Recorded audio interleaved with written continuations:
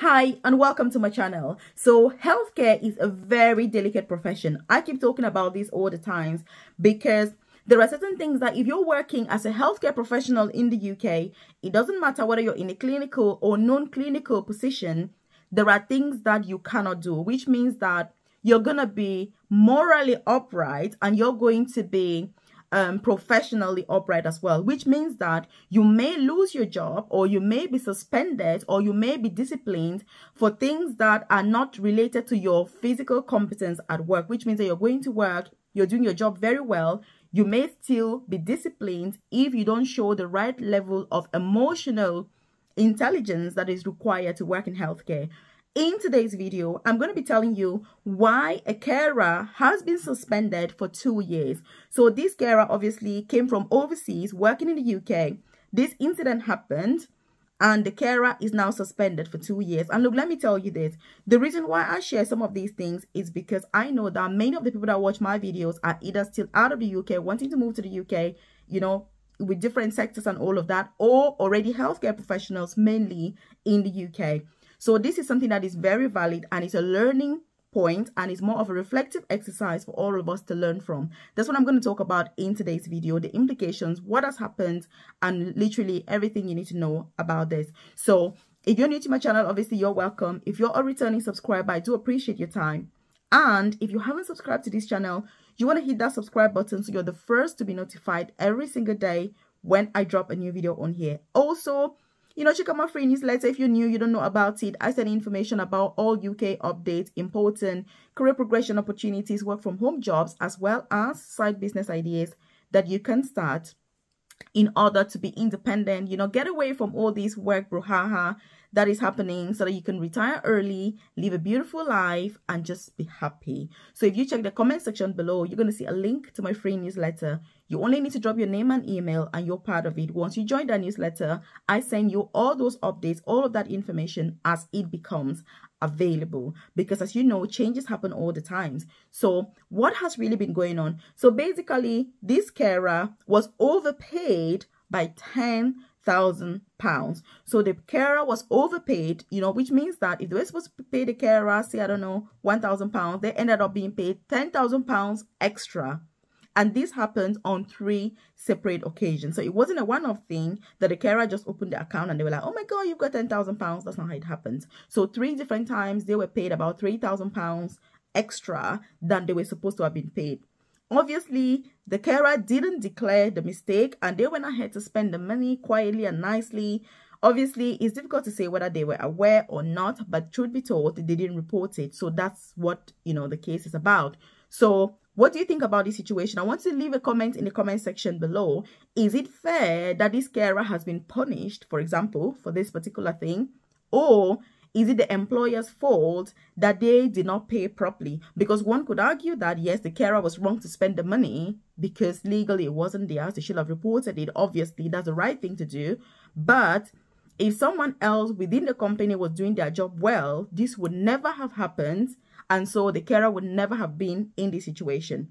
So again, what do you think about the situation? You know, was the carer you know, should the carer be punished or should they just be told to pay back the money? Because obviously this carer has now been suspended for two years, given a warning, and that is something that is huge. Obviously, it's got a huge impact in your career. So, you know, leave your comment in the comment section and we'll be able to talk about that and say exactly what other sorts of things have been requested from this carer and whether just what you think about it. And by the case you're wondering, you know, my name is Melvis. I do work as an advanced nurse practitioner in England. So I'm a nurse myself.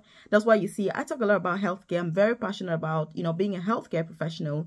I have a private career coaching program where I support nurses, carers, midwives, students, student nurses, prospective student nurses, people that are looking for free UK visa sponsorship opportunities to move to the UK or to switch if you're already in the UK. So if you check out my private coaching program in the description box below or the about section of this YouTube channel, then once you join, you get that guidance with, you know, what jobs are you looking for, who is recruiting, how do you apply, where do you apply, CV reviews, interview preparation, literally everything that you need to know.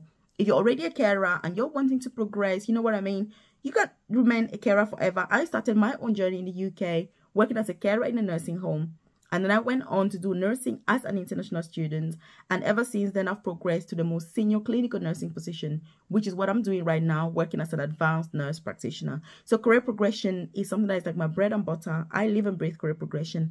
I love the opportunities that this country brings. And look, we need to make the most of these opportunities. If you're in the UK or you're moving to the UK and you're just stuck in the same position, look, with all due respect for these positions, I call them entry level positions. I call them positions that are there to get you into the room, to get you into the building. But look, once you're around, you need to upgrade, you need to do more. What else is out there? That's why I'm here to guide you through that process. If you're a qualified nurse or midwife back home and you're wanting to transition back to that and you're currently working as a carer in the UK, I can guide you with the NMC pathway and process. But obviously, you can contact the NMC directly for that information because it doesn't matter whether you come through my coaching program or not. All I care about is that you're upgrading. You know what I mean? You're earning more. You're having, you're just living your best life in this country and not just kind of surviving with the list that is there on offer.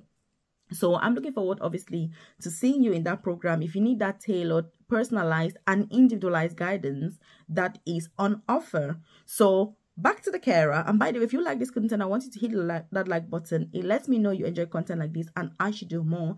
If you've got any recommendations, any questions, please do leave them in the comment section below. If you've got something personal and private you want to talk about, feel free to contact me through my newsletter. You're going to see all of my contacts on there and then we can take it from there. So this carer has also been asked to write a reflection. So they have asked the carer to write basically a reflection on what happened, you know what I mean, what they think they did wrong, and what they would do next time. Look, reflection is something that is a huge part of healthcare. It improves our care, our practice as healthcare professionals, and it's something that it doesn't matter the profession anyway, we should all be doing on a daily basis reflecting and thinking, okay, this is what I did yesterday. What could I have done differently? Is that improvement and that duty of conduct as well that comes especially with healthcare, you know, thinking about the six C's, thinking about the Nursing and Midwifery Council, you know, thinking about the regulations that govern, you know, our practice and the moral, you know, conduct really that we ought to uphold as healthcare professionals. So that's what this carer has been told to do. Obviously, suspended for two years. Um, they've also got this warning against their name because of you know vulnerable adults. Because if you're a carer, you're working with vulnerable people. You've got to be able to show good decision making. But one thing that I like about this case that this carer has been very remorseful, and that's why they haven't been sacked because when things happen and you're polite about it and you come clean and say, look, I'm really sorry. This was a mistake. I didn't do the right thing. Then you find that your punishment kind of is less because this carer could have been, you know, sacked and struck off, for example, or banned from healthcare. There's been other carers that have been banned completely from healthcare. So at least as you can see, you know, the carer has been really remorseful and obviously the punishment, you know, has been what I have said. So again, have you got any questions? You know i'm going to be doing a video on the things that we should not be doing as healthcare professionals in the uk also i've done lots of videos on this channel about different career progression pathways opportunities you know to get into healthcare and how you can progress in your career like i've said. So you know what i mean? Just share this with your friends loved ones colleagues so they're aware so that it can help to guide us on what is expected of us you know as healthcare professionals because we're dealing with human beings mainly when they're at their most vulnerable state. So it is expected that we are going to be exemplary in how we're behaving, you know what I mean? Not only at work, but even in our own private lives. Because you can't be sacked for something that has happened in your private life that has nothing to do with your job. And that's why healthcare is so different from all the other professions, from all the other jobs and that's why some people still say that healthcare is more of a vocation still than being a profession. So whether you agree or not, if you're coming into this sector, you need to be ready. You need to be empathetic. You need to be compassionate. You need to be honest. You need to be truthful. You need to be, you know, the best human that you can be because there's going to be no excuses when things go wrong Again, like I've said, whether it's related to your job or not, nobody will listen to that. You've got to uphold the reputation of the profession at all times, 24 7, whether you're at work or not at work. So, do you agree with what's happened, you know, and how the whole case has unfolded? Or do you think someone else should have done their job well and this would never have happened? Obviously, whatever the case, you know what I mean. So, like I've said, make sure you join my newsletter. If you need that tailored, individualized, and personalized guidance, consider joining my private coaching program, which you're going to find the link in the About section of this YouTube channel or the description box below and then we can get started. But my newsletter is completely free. I send that info to you as it does become available so that you don't miss out. And again, do watch this other video that I've done because it's going to be really, really helpful for you and to guide you with that journey to success here in this beautiful country, the UK. You know, thank you for watching till now and I'll see you in the next video.